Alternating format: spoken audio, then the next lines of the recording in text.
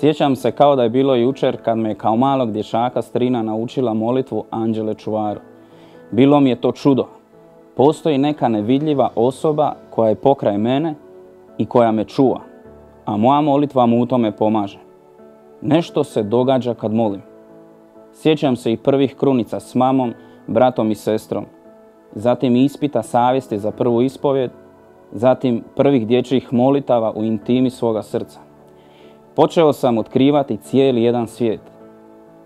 Osjećao sam se kao da me nešto ili netko želi privući u odnos.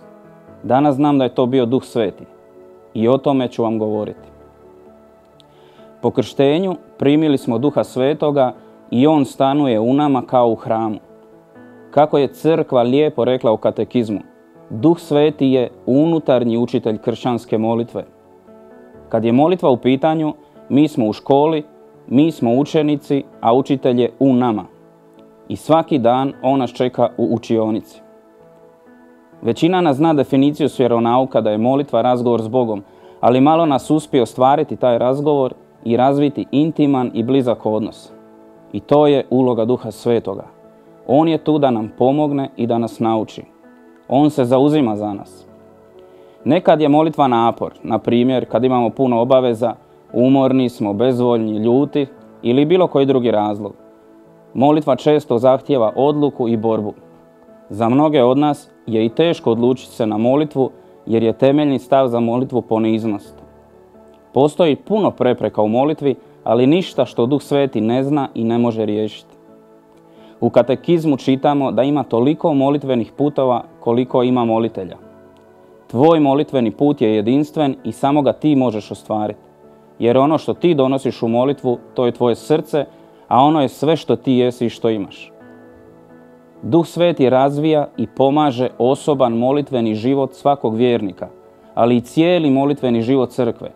On je taj koji je nadahnjivao liturgijske molitve, obrazce, pobožnosti i različite duhovnosti. Duh Sveti nas uči moliti u sva četiri zida, uči nas moliti u crkvi i s crkvom. U dijelima apostolskim 12 čitamo kako se crkva svesrdno moljaše Bogu za Petra koji je bio bačen u tamnicu i na njihovu molitvu Bog je poslao anđela da ga čudesno oslobodi.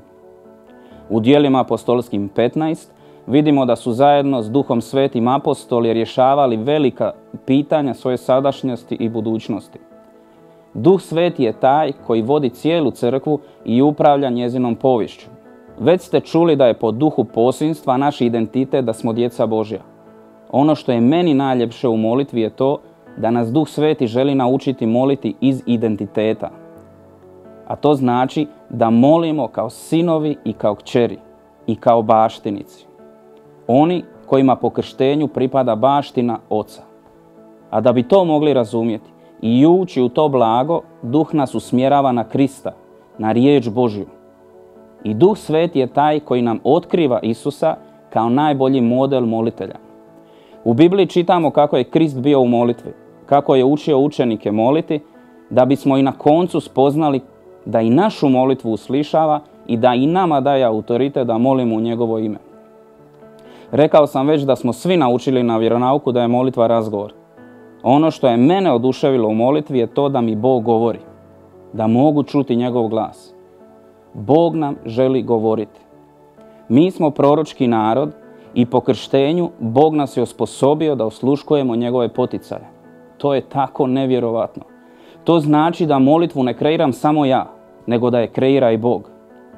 Svaka molitva može biti susret pun iznenađenja. Neka će te duh nadahniti da moliš uz Bibliju, nekad da slaviš uz glazbu, nekad da šutiš i da čekaš. Nekad da moliš neku pobožnost ili da odeš na klanjanje ili na svetu misu preko tjedna. U svim molitvenim izrazima on uvijek želi da moliš sa srcem. Danas ne mogu zamisliti da mi je u molitvi dosadno, jer znam da je on u njoj. Znam da me tamo čekaju Duh Sveti, Isus i dobar Otac. Zapravo, u molitvi je velika gužva. Nikad ne znaš tko će što napraviti, što će tko reći i što će se dogoditi. Ono što nam Biblija govori, a to je da, je da Duh Sveti otkriva Sina Isusa, a Isus sve vodi Ocu. Kad naučimo moliti s duhom svetim i u duhu svetom, svaka molitva bit će susret s tatom, s Bogom Ocem, u očevoj kući, u njegovom zagrljaju, u njegovom srcu gdje se otkriva istina o meni. Tamo prebivam u njegovoj prisutnosti, a njegova prisutnost oblikuje u meni sinovsko srce i molitvu poput Isusove. Oče, ne moja volja, nego tvoja. Kako je prekrasna uloga Duha Svetoga, da te pomaže da dođeš doma, da te dovede tati, da te nauči moliti kao sin, kao kćer i da te nauči živjeti u baštini.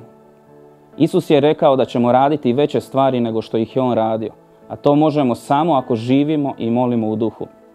Imam kćer Luciju. Ona uči od mene i od moje žene moliti. Znam da moja uloga kao oca nije da je naučim samo molitvene obratce, nego da je uvedem u osoban odnos sa živim Bogom koji živi u njoj po krštenju, koji žeđa za njezinim srcem i koji ima velike planove za njezin život. A oni će se moći ostvariti samo ako razvije taj intiman odnos s Duhom Svetim. Duhom Svetim koji je učitelj molitve.